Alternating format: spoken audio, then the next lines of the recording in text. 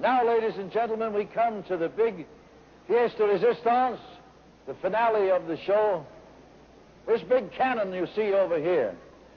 And the young lady and the young gentleman are man and wife. She is the niece of the inventor, Mr. Zacchini, who stands alongside of it in the white coat. Professor Zacchini.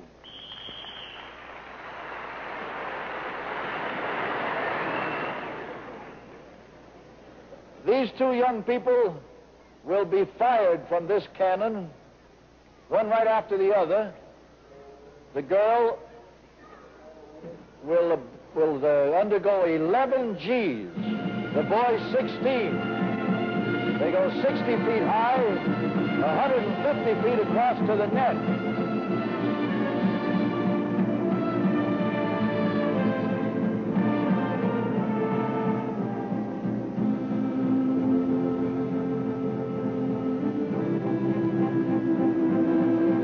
Wag said today that if anything happens to the man, he must be replaced by a man of the same caliber.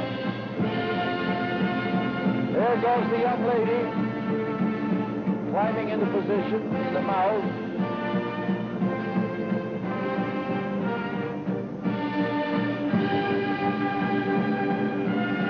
Followed by her husband.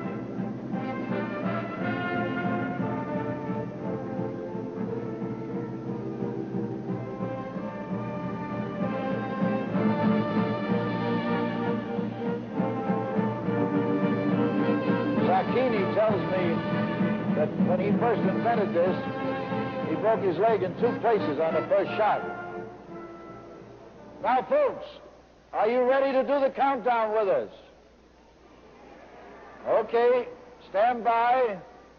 The professor will tell us when he's ready.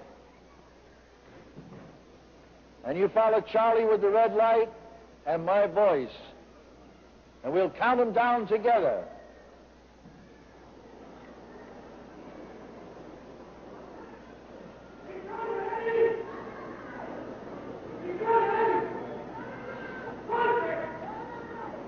Ready? Five, four, three,